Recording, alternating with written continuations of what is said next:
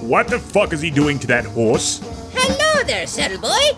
Rolf is preparing a bowl of cereal softener for Rolf's cow.